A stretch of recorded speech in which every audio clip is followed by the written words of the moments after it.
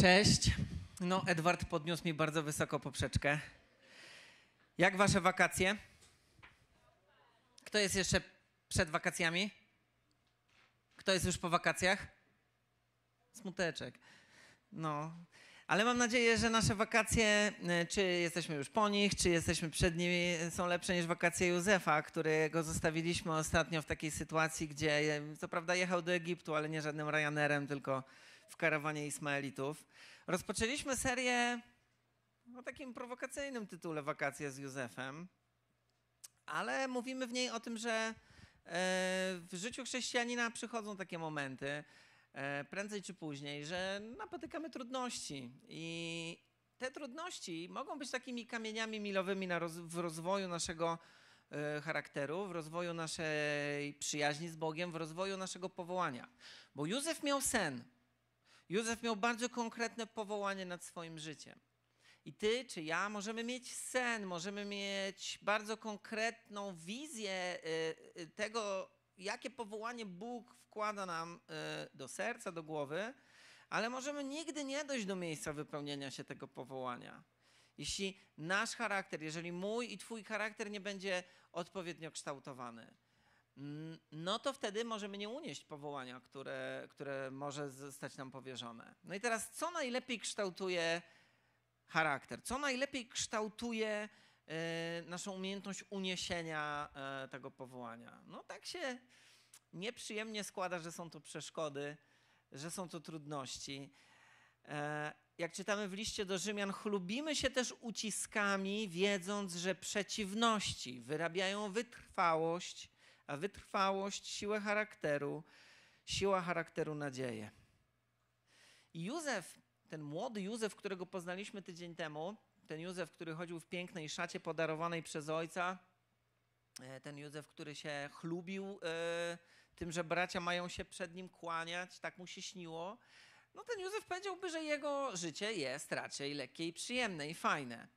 Ale e, jak jakby w mgnieniu oka za sprawą jego braci zmieniło się e, w pasmo ucisków. I to, jak Józef pozwalał kształtować swój charakter, jak poprzez te przeciwności kształtował swoją wytrwałość i z kolei ta wytrwałość kształtowała jego nadzieję, czyni go ciekawą postacią dla nas, y, ale przede wszystkim postacią przydatną, jego historię postacią przydatną do naśladowania i do nauki. Więc pamiętamy, że Józef sam rzucał pod swoje nogi przeszkody, między innymi w postaci dumnego serca, które, yy, które musiało zostać zmienione, ale jego yy, bracia, otoczenie jego również rzuciło go po prostu do głębokiego dołu, takiego fizycznego, głębokiego dołu, głębokiej studni, ale również takiego duchowego, głębokiego dołu samotnego zmagania, gdzie musiał pokutować ze swojej pychy i ze swojej dumy. Jego bracia planowali go zabić, planowali go zostawić w tej studni, ale postanowili na nim zarobić, oddać go w niewolę. I w 39 e, rozdziale, bo w nim będziemy dzisiaj, w 39 e, rozdziale Księgi Rodzaju od pierwszego wersetu czytamy. Józef tymczasem przybył karawa z karawaną do Egiptu. Tam kupił go od Ismaelitów Potyfar, Egipcjanin, dworzanin faraona, dowódca jego straży przybocznej. A Pan był z Józefem i czynił go człowiekiem sukcesu, a służył on w domu swego pana Egipcjanina. Potyfar widział jasno, że Pan jest z Józefem i zapewnia powodzenie wszystkiemu, czego dotknie jego ręka. Okazał zatem Józefowi przychylność, ustanowił go nawet zarządcą swego domu. Wszystko, co posiadał, poddał jego władzy. A z chwilą, gdy ustanowił go zarządcą swego domu oraz mienia, Pan z powodu Józefa błogosławił domowi Egipcjanina. Błogosławieństwo Pana spoczywało na wszystkim, czym rozporządzał Potyfar w domu i poza domem. Wkrótce zatem Egipcjanin powierzył Józefowi pieczę nad wszystkim. Przestał dbać o cokolwiek oprócz spraw osobistych. Trzeba przy tym dodać, że Józef był bardzo przystojnym mężczyzną. Kiedy Józef stanął na tak ważnym stanowisku, zwróciła na niego uwagę żona jego pana. Można powiedzieć, że to jest historia sukcesu niezwykłego i błyskawicznego awansu społecznego. Wspaniała kariera. Można powiedzieć, godna pozazdroszczenia do pewnego momentu. Młody, przystojny chłopak staje się wpływowym, e, wpływową osobą, pomimo tego, że de facto jest niewolnikiem. My jednak wiemy, powinniśmy sobie zdawać z tego sprawę bardzo często, czytając e, Księgę Rodzaju, że tam pomiędzy jednym a drugim zdaniem, wtedy kiedy my bierzemy oddech, może mijać trochę czasu, trochę więcej niż e, zajmuje ten nasz oddech. I wiemy, że ten awans w służbie u Potyfara nie nastąpił tak jak za pstryknięciem, pstryknięciem palcami, że to był jakiś proces. I ta służba dla Józefa, ta służba y, u Potyfara dla Józefa była bardzo konkretnym testem też y, na drodze do wypełnienia jego powołania. I przed takim testem, przed jakim stanął Józef, zyskując tę wspaniałą, błyskawiczną, cudowną karierę, możemy stawać w naszym życiu przez cały czas, przez, przez cały czas, jak trwa nasze życie. Może, może stajesz przed takim testem właśnie w tym momencie. Nazwaliśmy to sobie roboczo testem pałacu, bo Józef trafił do fajnego domu, do fajnego pałacu, ale to jest de facto test takiego światowego życia. To jest test sukcesu, przed jakim stanął Józef. I jak świat postrzega sukces? Analizując tę historię, którą w tych krótkich e, sześciu, dziesięciu wersetach 39 rozdziału e, Księgi Rodzaju czytamy, myślę, że Biblia pokazuje nam, jak wtedy i jak dziś świat postrzega sukces przez pryzmat takiego, e, takich trzech wartości, takiego niesamowitego trio władzy, pieniędzy i seksu.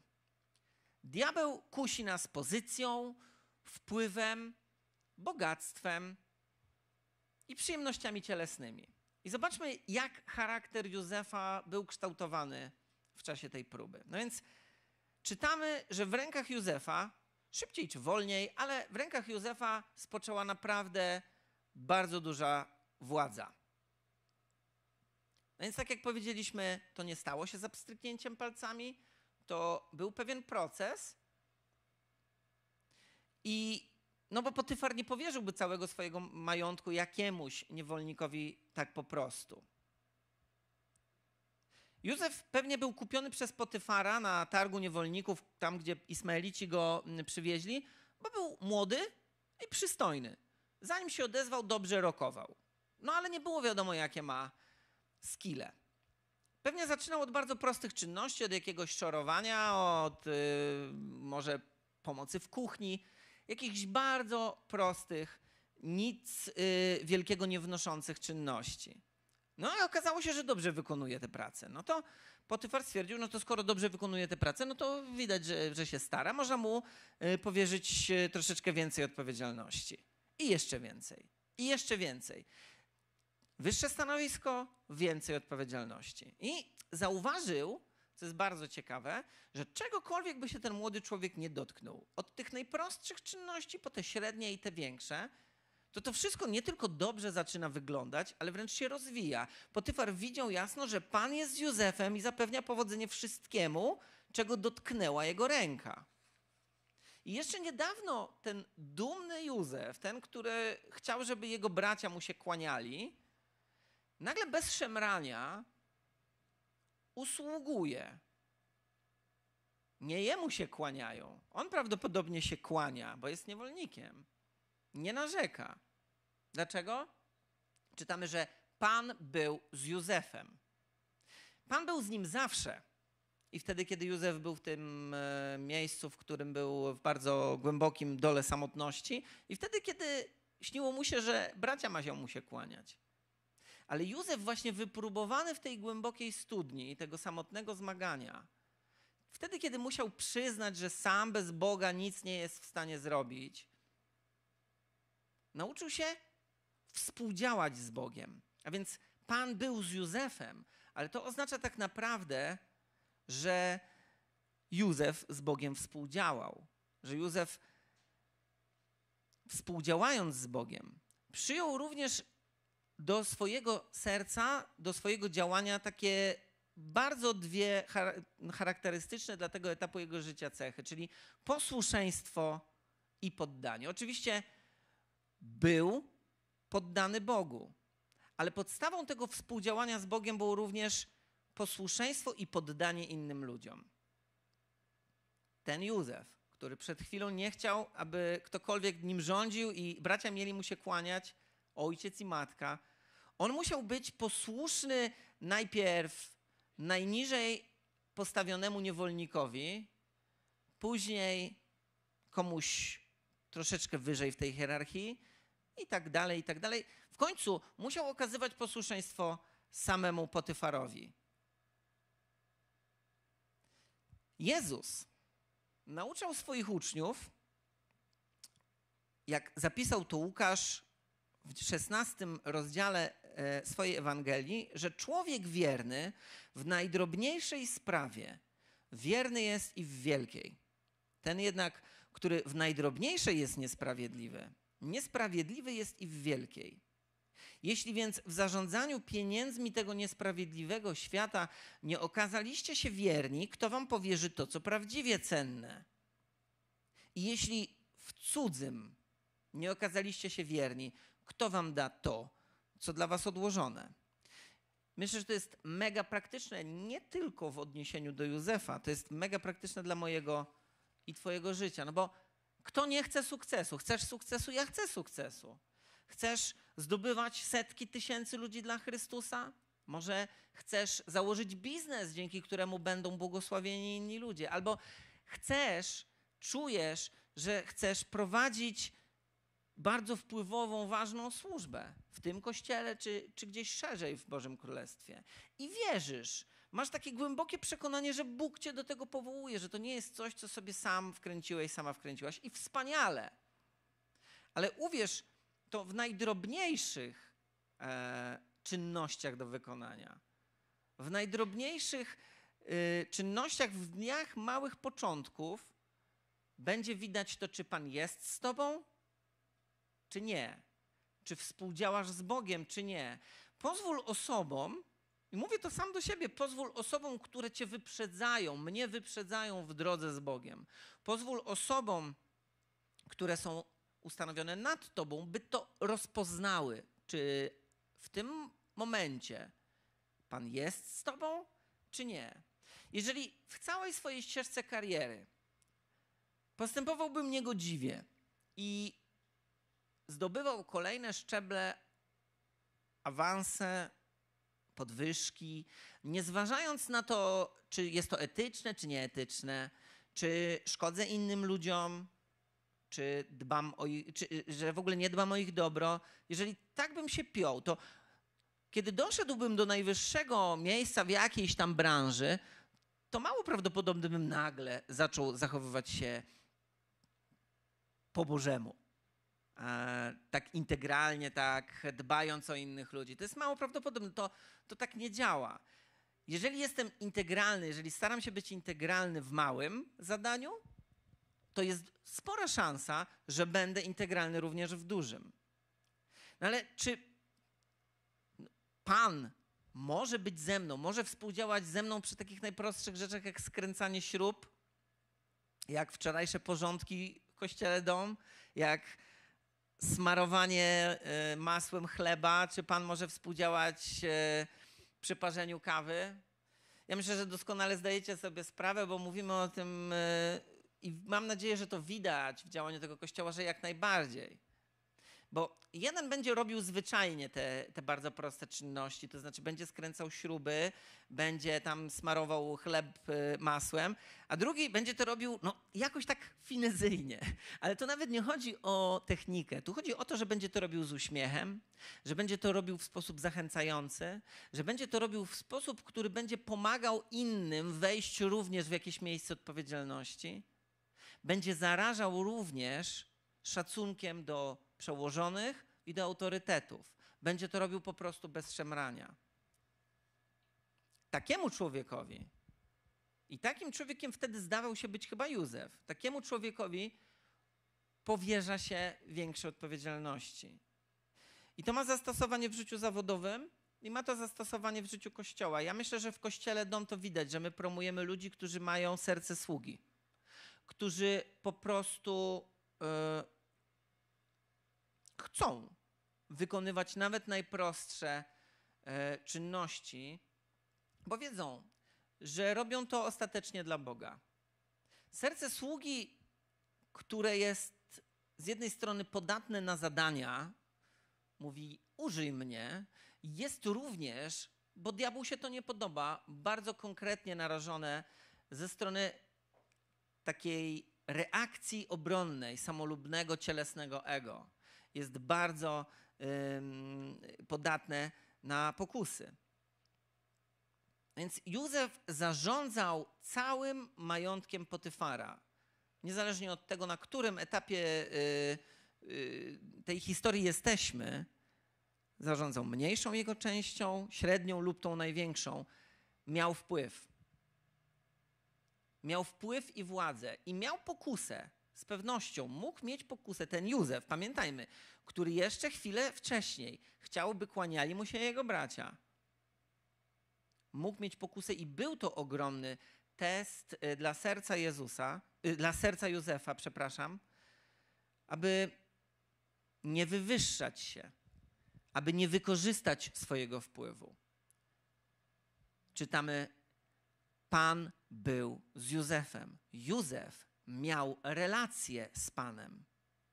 Modlił się, powierzał swoje zadania, wszystkie swoje wyzwania Bogu, wszystkie swoje zmartwienia i dziękował mu za to, że nie jest już w tym miejscu samotnego zmagania w tej studni.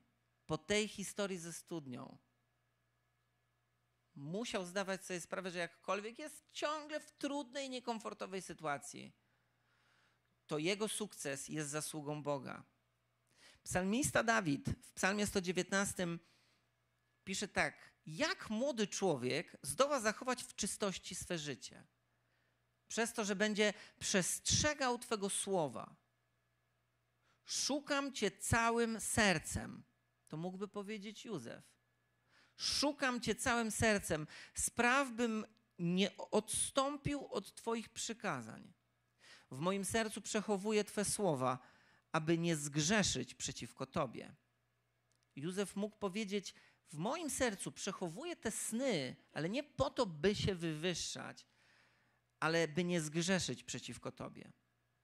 Bliska relacja z Bogiem bliska relacja i komunikacja, ciągła komunikacja z Duchem Świętym jest najlepszym zabezpieczeniem dla mnie i dla ciebie przed porażką na teście władzy i wpływu.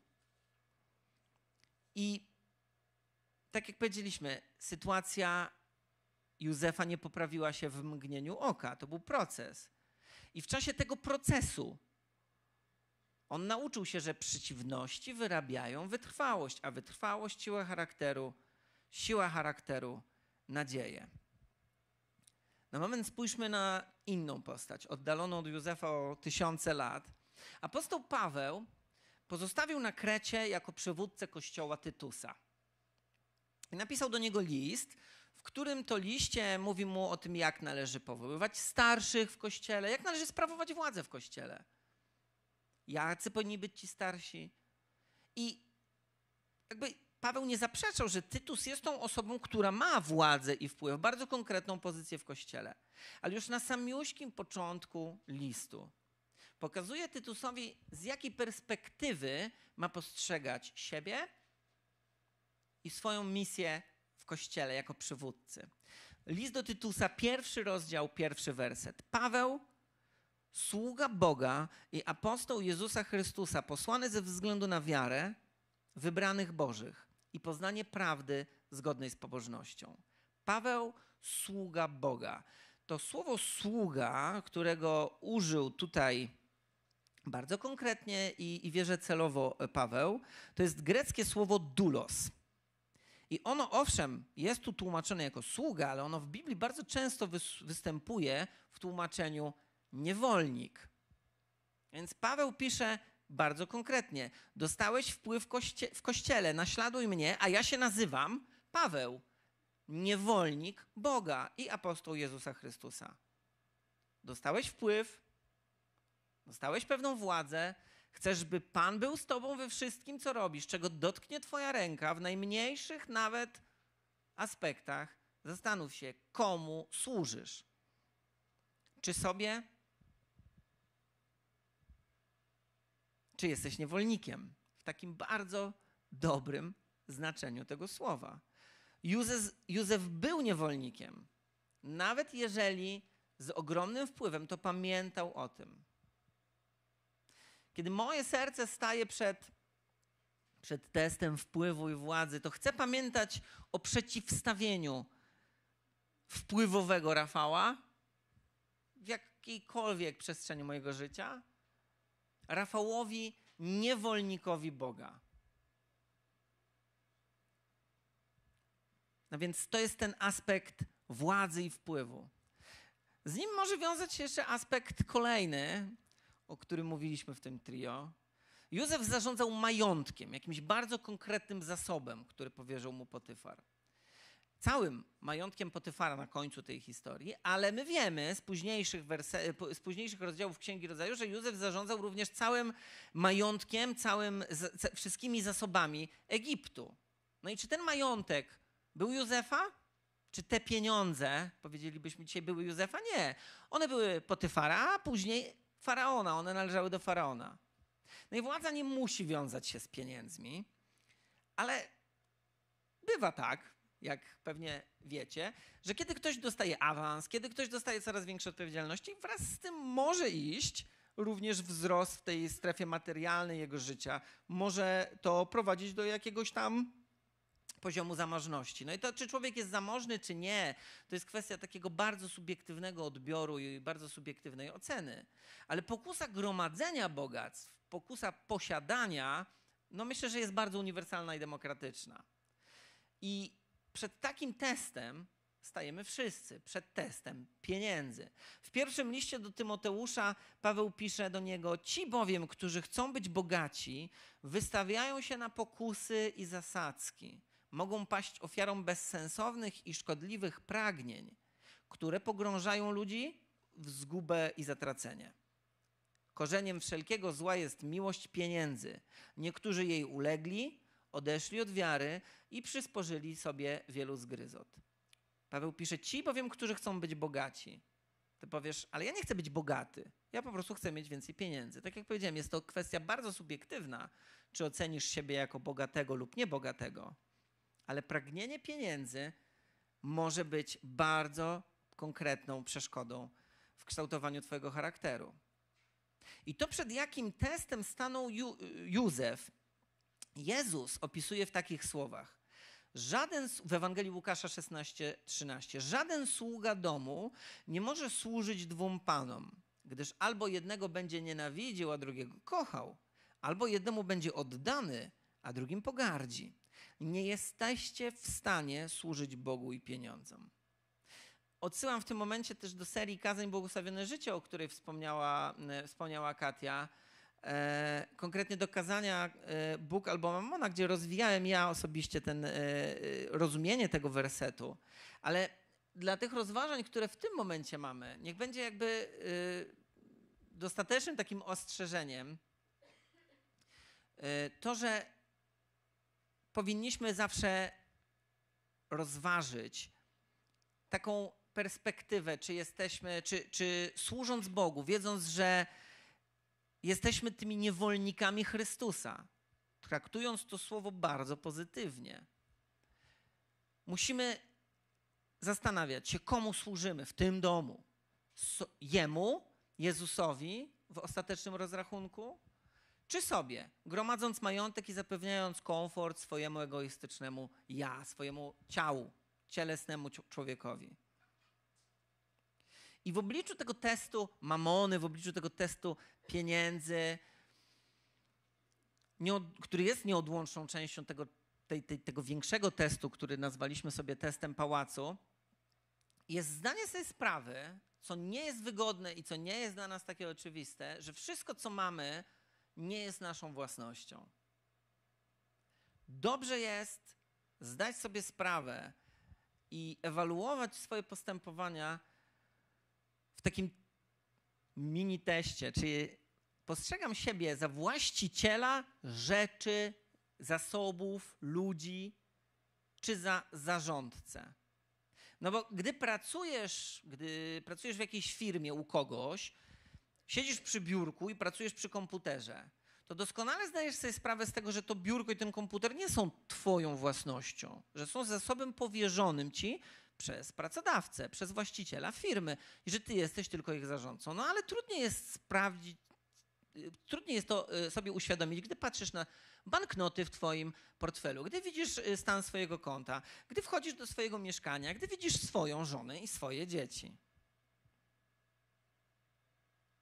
Ale dobrze jest sobie zdać sprawę, że we wszystkich tych aspektach jesteś zarządcą, nie właścicielem. I to jest z jednej strony bardzo uwalniające, ale z drugiej strony kładzie na nas bardzo poważną odpowiedzialność. Znów, czytamy takie słowa w Ewangelii Łukasza, wypowiedziane przez Jezusa w Ewangelii Łukasza 19, rozdziale 17 wersecie. Świetnie, dobry sługo, odpowiedział Pan. Ponieważ okazałeś się wierny w tak małej sprawie, pomierzam ci władzę nad dziesięcioma miastami. Ten werset pochodzi, jak wiecie na pewno, z przypowieści o talentach, ale ja celowo nie y, cytuję wam tu w tym momencie y, wersetu, który tak stricte, konkretnie odnosi się do pieniędzy. Bo to, czy jesteśmy właścicielami, czy zarządcami, jak sami siebie definiujemy, ma bardzo konkretne zastosowanie do wszystkich zasobów, które mamy w życiu: domu, pieniędzy, samochodu, pracy, ale również dzieci. Na przykład dzieci, które urodziły się w moim związku małżeńskim z moją żoną, nie są moje, nie są moją własnością. One są, i to jest bardzo mm, prawdziwe tak po prostu, ale to jest po prostu też nasza decyzja, one są własnością Boga. Im szybciej to zrozumiałem ja, im szybciej zrozumiesz to ty, tym twoje rodzicielstwo stanie się łatwiejsze. Ja nie mówię, że będzie placem zabaw, ale będzie łatwiejsze. To zdejmuje z ciebie pewną część odpowiedzialności za takie mm, szarpanie się z pewnymi kwestiami.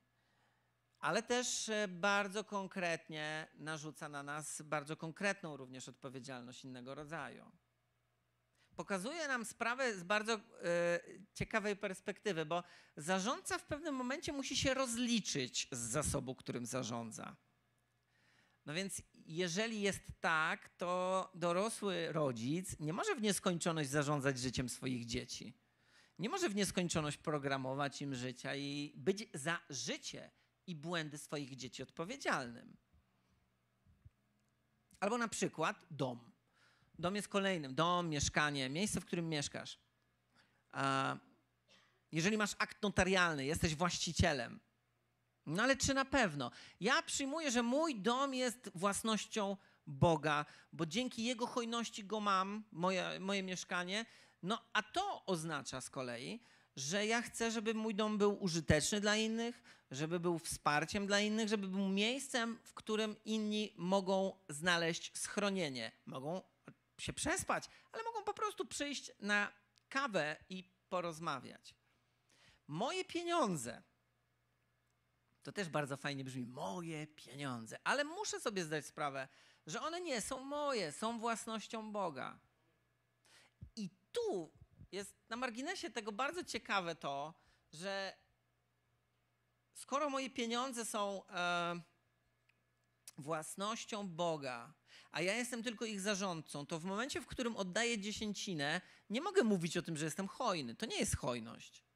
Ja oddaję Bogu 10%, a 90% On pozwala mi zarządzać według mojego uznania. I dopiero w tych 90% jest miejsce na moją hojność.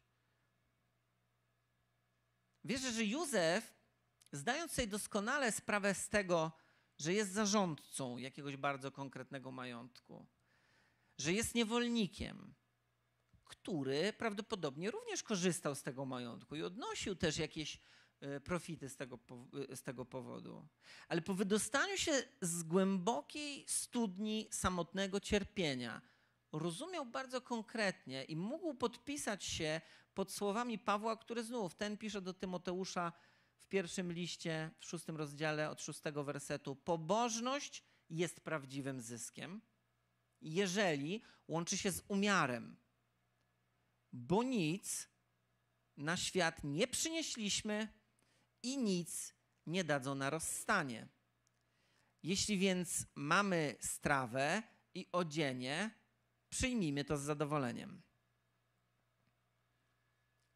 I dochodzimy do trzeciego aspektu tego trio, o którym powiedziałem, bo nie wiem, czy zgodzicie się z takim stwierdzeniem, że ludzie, którzy mają wpływ, mają władzę i jakieś pieniądze, wydają się być atrakcyjni. Są atrakcyjni. Nie wiem, czy się z tym zgodzicie, ale Józef miał wpływ. Powiedzmy, że miał jakiś, jakieś pieniądze, jakimś konkretnym zasobem zarządzał. Był do tego mężczyzną przystojnym. Bardzo konkretnie nam ten 39 rozdział e, Księgi Rodzaju e, mówi. I w siódmym wersecie czytamy, kiedy Józef stanął na tak ważnym stanowisku, zwróciła na niego uwagę żona jego pana. Prześpij się ze mną, kusiła. Dla młodego mężczyzny,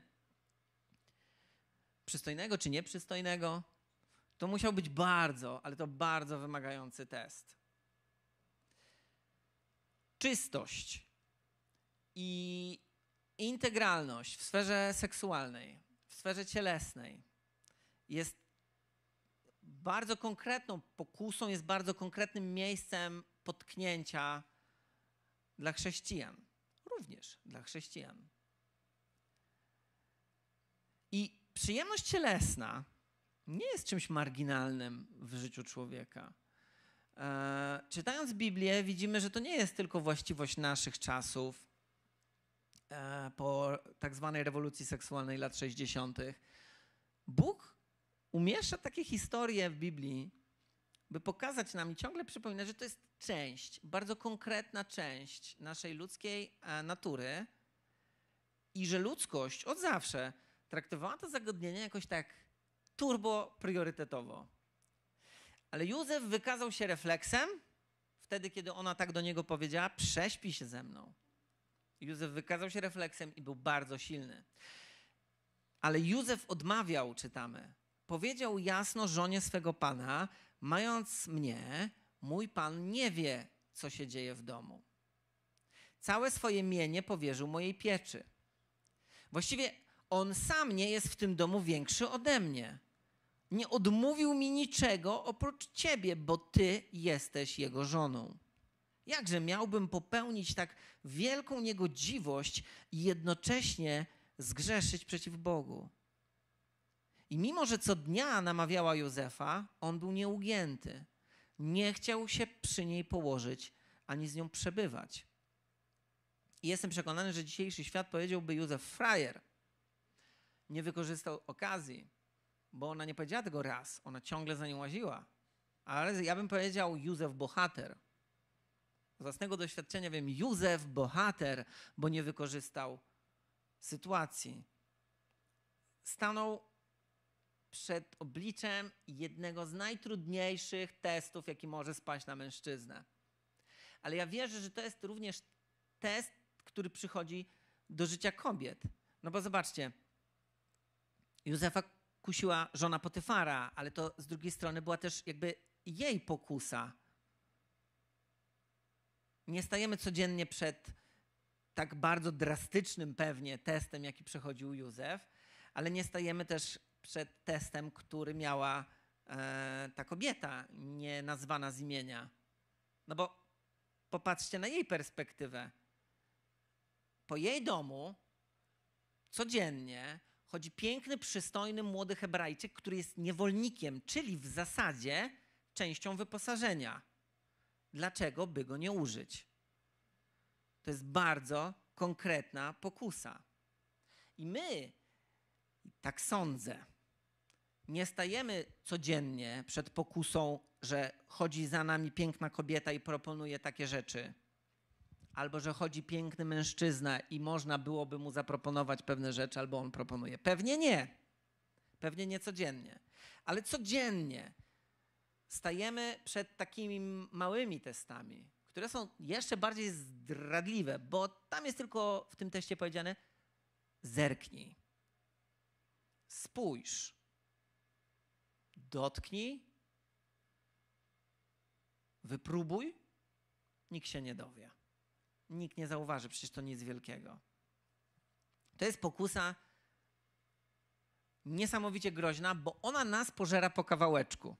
Dotknąłem, pożarła mi palec, pożarła mi rękę i natychmiast pożarty jestem cały.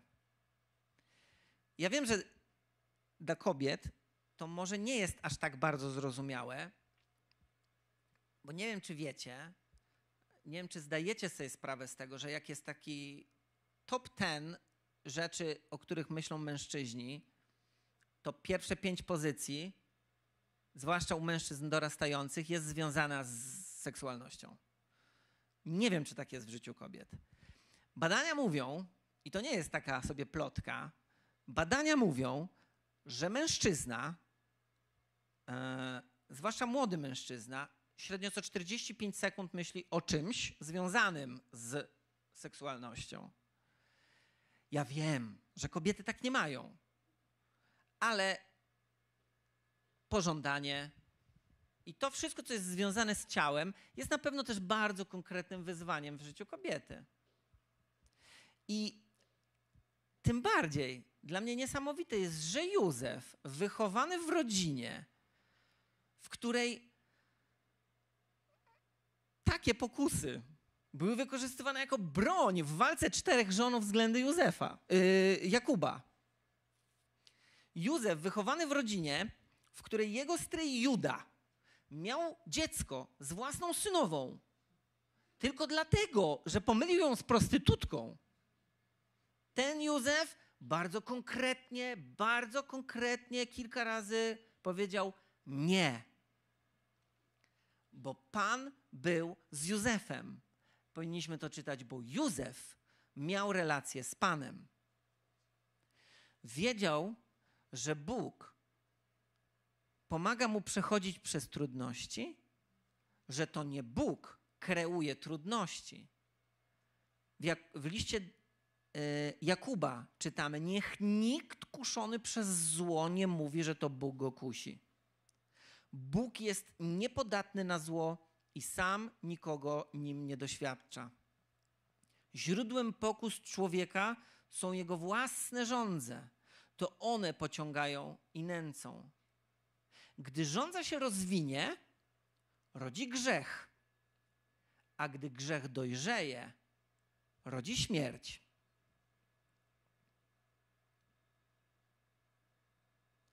To jest bardzo konkretna wizja, bardzo konkretny obraz odnoszący się do pewnego owocu, który już na samym początku Biblii widzimy. Kiedy żądza się rozwinie, rodzi grzech, ale kiedy ten owoc dojrzeje, kiedy już pozwolimy, by spadł, dojrzały, zerwać go możemy i możemy go spróbować, wtedy rodzi ona śmierć. Pokusa, sama pokusa to jeszcze nie jest grzech. Ja mam pokusy. Wierzę, że wy macie pokusy. Ale pytanie, co my zrobimy z tymi pokusami? Pytanie, co my zrobimy z tą pokusą władzy, z tą pokusą, um, powiedziałbym, wywyższania się nad innymi, bo mamy wpływ. Co my zrobimy z tą pokusą, by gromadzić i wydawać pieniądze? Co my zrobimy z tą pokusą, związaną również e, z tym aspektem naszej cielesności? Czy zadziałamy zgodnie z tą pokusą, czy się od niej odwrócimy? I ja muszę powiedzieć, żeby być wiarygodnym i integralnym, że y, ta kwestia y, tych pokus związanych z naszą cielesnością, to był bardzo trudny temat w moim życiu. I że to był, to był taki obszar wielu moich potknięć.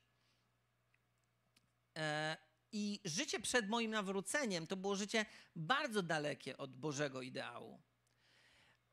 Bóg uwalnia od różnych problemów i daje też odpowiedni mm, potencjał w postaci ludzi wokół nas. Ja mam cudowną żonę, której e, w momencie, w którym się poznaliśmy, mogłem otwarcie powiedzieć, i myślę, że to było ważne, żeby po prostu sobie powiedzieć nawzajem, a ja miałem bardzo konkretne rzeczy do powiedzenia.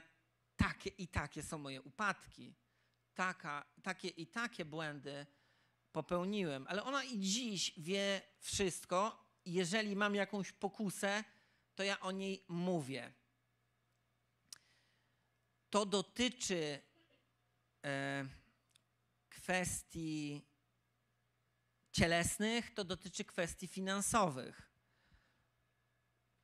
Muszę Wam się przyznać do jednego takiego, powiedziałbym, mini upadku, bo w kwestii finansowej nie powiedziałem żonie o pokusie i kupiłem perkusję. Ale powiedziałem, jak kupiłem i jak paczka była w drodze. Wykpiłem się tym, że to kryzys wieku średniego, ale pokusa była, pokusa, no niestety upadłem. Ale no, pokutowałem. Poku perkusja jest z nami cały czas. Ale moja żona wie generalnie o mnie wszystko. Yy, ona widzi też wszystko, więc, więc nie ma sensu pewnych rzeczy tam taić.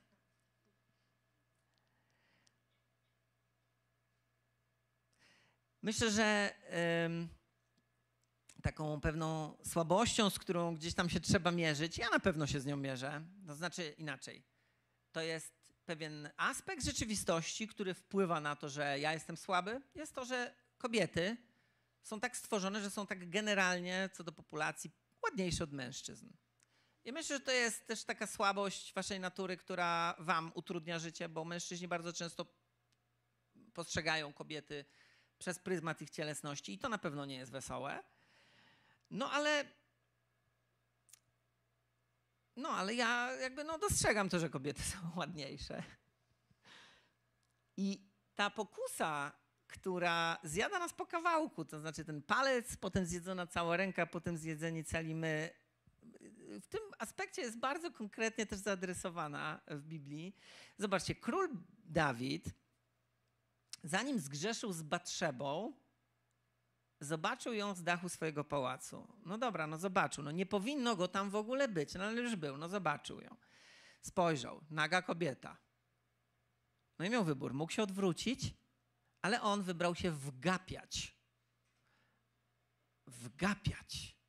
No i przyszedł mu pomysł, no dobra, no to sprowadźmy ją, a dalej już wiemy, że to doprowadziło do bardzo, bardzo konkretnego upadku. Dawid miał relację z Bogiem. Dawid z tego pokutował chociaż doprowadziło to do ogromnie nieprzyjemnych konsekwencji dla niego i dla jego rodziny. Ale mógł nie patrzeć. W tym wersecie, yy, który już przytoczyliśmy, kiedy mówiliśmy o żonie Potyfara, tam jest napisane, kiedy Józef yy, stanął na tak ważnym stanowisku, zwróciła na niego uwagę żona jego pana, prześpi się ze mną kusiła, ale inne tłumaczenie mówi, i stało się potem, iż obróciła żona Pana, jego, oczy na Józefa i rzekła, śpij ze mną. Obróciła na Józefa oczy, czyli patrzyła, oczy. Tydzień temu mówiłem o tym, że język jest sercem bardzo powiązany. Oczy są bardzo powiązane z taką naszą umiejętnością do robienia głupich rzeczy. I oczu trzeba pilnować, na oczy trzeba uważać. I wiedzą o tym specy od reklamy, bo bardzo, bardzo konkretnie wykorzystują wdzięki ciała mężczyzn i kobiet w marketingu. I moja recepta, nie dla Was tylko, ale dla mnie, ona jest prosta, ale ona nie jest prosta do zastosowania tak konkretnie w życiu, ale ją trzeba stosować. Po prostu nie patrz. To brzmi tak banalnie, ale po prostu nie patrz. Odwróć wzrok. Nie odwracaj wzroku wtedy, kiedy słyszysz, że kogoś biją. Odwróć wzrok wtedy, kiedy widzisz, że z przeciwka idzie piękna, obca kobieta. Nie oglądaj nie tylko stron z niewłaściwymi treściami, ale nie oglądaj na przykład filmów, e, w których są. Jest nagość, w których są, e, powiedziałbym, sceny. We mnie i w Magdzie coś takiego y, jest y, po, wraz ze wzrostem naszego, y, naszej relacji z Bogiem jest taka fizyczna wręcz niechęć do takich rzeczy. Czasem jest tak, że oglądamy jakiś film i no nie pasuje nam to, co, co widzimy. E, ale może nie odczuwasz takiego czegoś, więc lepiej wystrzegać się tego, e, nawet jeżeli nie odczuwasz do tego niechęci. No na przykład masz problem z tym, żeby, że, no, jesteś na basenie. Wszyscy są w strojach kąpielowych.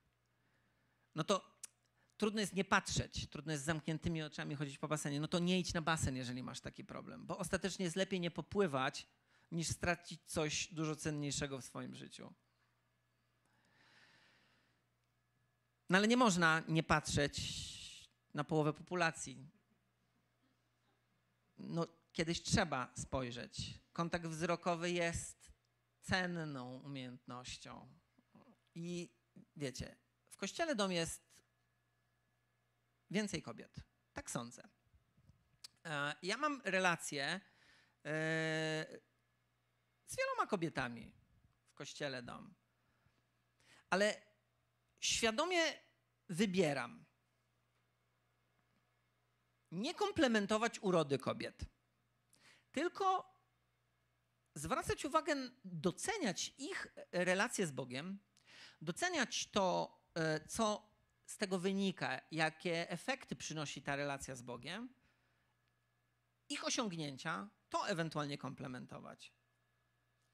Świadomie wybieram nie spotykać się z kobietami sam na sam. Nie dlatego, że jakbym się spotkał z kobietą sam na sam, to coś strasznego by się wydarzyło.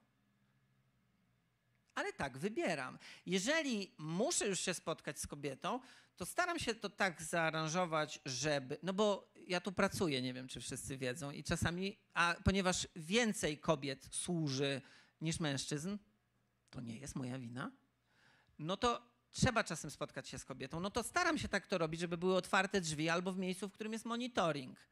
I nie uważam, że to jest jakieś, e, jakieś super przesadzone. I staram się nawiązywać relacje rodzina z rodziną, małżeństwo z małżeństwem, a nie z pojedynczymi kobietami. I to nie chodzi o to znowu, że ja jestem po prostu jakiś, e, wiecie, nieopanowany. I to nie chodzi o to, że ja się boję, że ktoś drugi jest nieopanowany. Ale nie mam pokus, bo ich nie prowokuję. I mogę śmiało patrzeć innym kobietom w oczy, tak? Bo, bo też chyba mogą wiedzieć, czego się po mnie spodziewać. I nie, nie podchodźcie do mnie, a kiedyś powiedziałeś, że ładnie wyglądam. No może mi się zdarzyło, no. Ale staram się. I teraz chciałbym zaprosić Hanię, żeby tutaj y, zagrała, bo zbliżamy się do końca. Józef nie zachował czujności w jednej rzeczy. No nie było monitoringu wtedy, ale nie zachował czujności w jednej rzeczy, żeby zawsze był świadek tego, że on jest w jakimś miejscu, w którym przebywa również żona Potyfara. Czytamy dalej. Przyszedł jednak dzień, kiedy dom był pusty, nie było w nim nikogo z domowników. Józef wszedł, e, wszedł do środka, by wykonać swą pracę, i wtedy ona wczepiła się w jego szatę. Prześpi się ze mną, prosiła. On jednak wyrwał się, zostawił szatę w jej rękach i wybiegł czym prędzej na zewnątrz. Kiedy dotarło do niej, że uciekł zostawiając swą szatę, zawołała domowników i zaczęła wykrzykiwać: Patrzcie, sprowadził nam tu jakiegoś Hebrajczyka. Zachciało mu się, ze, zachciało mu się mnie uwieść. Był tu u mnie, chciał się ze mną przespać, ale zaczęłam krzyczeć. Gdy usłyszał, że krzyczę, zostawił szatę i uciekł. Wybiegł z domu. Szatę, którą zostawił Józef, zatrzymała przy sobie aż do powrotu męża. Kiedy wrócił do domu, opowiedziała mu dokładnie to samo. Przyszedł do mnie ten niewolnik, Hebrajczyk, którego nam sprowadziłeś, chciał się ze mną zabawić. Lecz gdy zaczęłam krzyczeć, zostawił przy mnie swą szatę i uciekł. Pan, kiedy usłyszał z ust żony, czego dopuścił się jego niewolnik, strasznie się rozgniewał. Kazał schwytać Józefa i wtrącił go do więzienia, tam gdzie byli trzymani więźniowie królewscy. Ona kłamała, Potyfar się dowiedział, zdenerwował się, uwięził Józefa tak trochę na marginesie powiem wam, że ja uważam, że postępowanie Potyfara było słuszne. Bo ona kłamała, wpędziła Józefa w tarapaty, ale to spada na jej sumienie. A on, mając do wyboru wersję żony i wersję pracownika, niewolnika, kolegi, wybrał wersję żony. I uważam, że tak powinien postąpić. Jeśli ona kłamała, a wiemy, że kłamała, to to jest jej sprawka, to ona ściąga to na swoją głowę. Ale mówię to nie tylko dlatego, że moja żona jest na tej sali, ale kiedy ja mam do wyboru wersję mojej żony i świadectwo innego człowieka, wybiorę i muszę wybrać wersję mojej żony.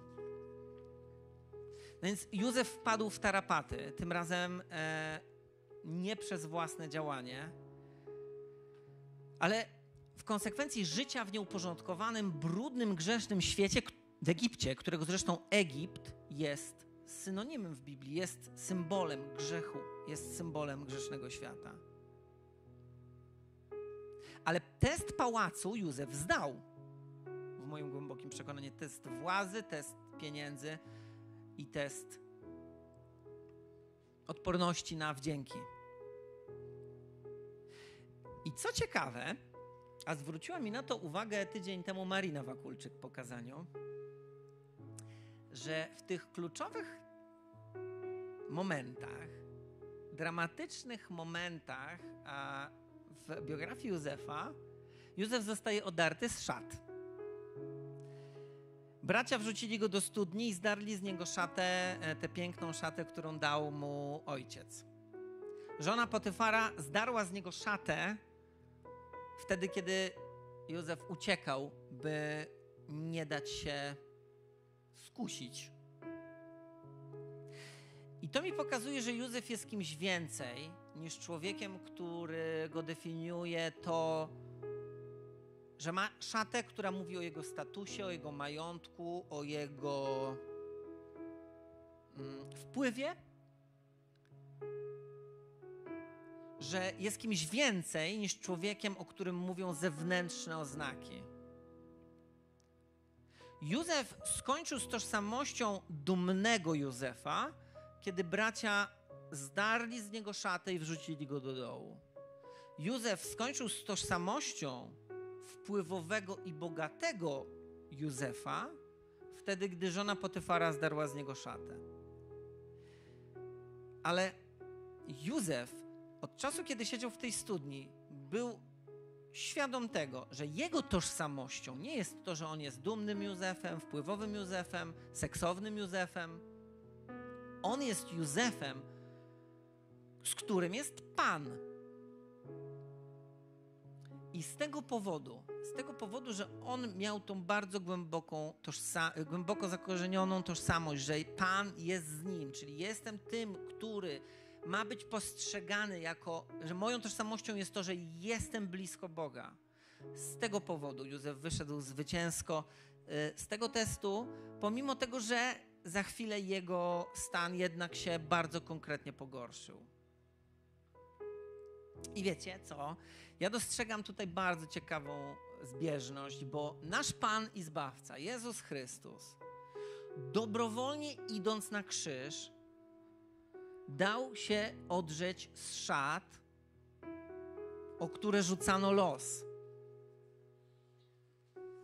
W drugim liście do Koryntian 8:9 czytamy: A znacie hojność naszego Pana, Jezusa Chrystusa. Wiecie, że On, będąc bogaty, ze względu na Was stał się ubogi, abyście Wy dzięki Jego ubóstwu stali się bogaci.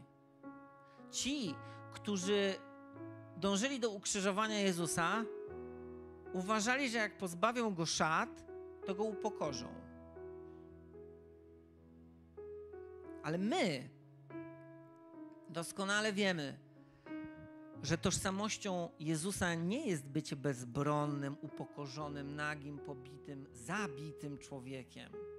Tożsamość Jezusa jest boska. Jezus jest Bogiem jest Bogiem, niezależnie od tego, w jaką szatę jest ubrany. Jego bóstwo, Jego władza, Jego potęga wymykają się naszemu ludzkiemu rozumowaniu. On, będąc bogaty ze względu na Was, stał się ubogi, abyście Wy dzięki Jego ubóstwu stali się bogaci i byście Jego, by dzięki Jego ubóstwu tam wtedy na krzyżu umieli wychodzić zwycięsko z testu wpływowej władzy, z testu pieniędzy i z testu pociągu. Chciałbym, abyśmy teraz wszyscy wstali, abyśmy się pomodlili o tych wszystkich z nas, którzy zmagają się z choćby jednym z tych trzech aspektów. Panie, tak bardzo dziękuję Ci za to, że my możemy być bogaci dzięki temu ubóstwu, które wtedy, gdy przyszedłeś na świat i przyjąłeś na siebie wszystkie te nasze ciężary, gdy przyjąłeś ludzką naturę, wszystko poza grzechem, gdy to wszystko, Panie, przyjąłeś, Panie, stałeś się tak bliski. Dziękuję Ci, Panie, że możemy mieć z Tobą relację, że Ty chcesz być z nami w tym dole naszej samotności, ale również w tych wszystkich momentach, w których zmagamy się z tym, co jest efektem takiego naszego aktualnego Egiptu, naszego życia w tym świecie. Panie, ja modlę się o tych wszystkich, którzy są dziś na tym streamie, czy są dziś na tej sali i zmagają się w swoim sercu, przechodzą test bycia wpływowymi we własnych oczach. Może są wpływowi, naprawdę. Panie, modlę się, byśmy wszyscy umieli zdać sobie sprawę, że chcemy być i jesteśmy niewolnikami Chrystusa. Że to nie czyni nas upokorzonymi, tylko to czyni nas zwycięzcami. Panie, ja błogosławię każdą osobę, która zmaga się w swoim sercu z poczuciem, że ktoś nie docenia jego wpływu, że ktoś nie docenia jego starań, że ktoś nie docenia jego pozycji. Błogosławię każdą taką osobę pokojem, który, Panie, pochodzi od Ciebie, abyśmy wszyscy umieli, każdy z osobna, żebyśmy wszyscy umieli zrozumieć, że naszą prawidłową postawą jest bycie niewolnikiem. Twoim niewolnikiem a to dobrze jest być Twoim niewolnikiem. Panie, ja modlę się o tych wszystkich, którzy zmagają się w swoim sercu z takim e, przekonaniem, że są właścicielami. Ja błogosławię nas wszystkich, abyśmy ciągle i ciągle umieli sobie przetłumaczać, że jesteśmy zarządcami tego wszystkiego, co Panie od Ciebie otrzymaliśmy. Panie, Ty widzisz nasze braki, Ty widzisz, Panie, braki w naszym życiu. Ty wiesz, Panie, kto potrzebuje zaopatrzenia finansowego, kto potrzebuje nowej pracy, kto potrzebuje nowego mieszkania, Panie. Ty widzisz tych, którzy starają się o dziecko. Ty widzisz tych, którzy starają się, Panie, o, e, o małżonka. Ale, Panie, pomóż nam mieć serca, które nie gromadzą, tylko serca, które są gotowe do tego, by zarządzać. Panie, Ty widzisz również tych, którzy mają problem z tym, by nie patrzeć. Mają problem, by odwracać wzrok od pokus. Panie, Ty bardzo konkretnie widzisz tych, którzy potrzebują Twojego, Panie, wsparcia w kontekście grzechów związanych z naszym ciałem, z seksualnością. Panie, Ty jesteś z każdą z tych osób w tym zmaganiu. Pomóż tej osobie y, zrozumieć jej zwycięskie, zwycięską tożsamość. Nawet gdy ktoś odziera cię z szat, które pokazują na twój status, ty masz tożsamość bycia dzieckiem Boga, ty masz tożsamość bycia tym, z którym jest Jezus. Panie Boże, tak bardzo dziękujemy Ci za to, że Ty wybierasz być z nami, nawet pomimo naszych upadków, nawet wtedy, gdy ciężko jest nam przejść przez test władzy, pieniędzy i naszego ciała. Amen.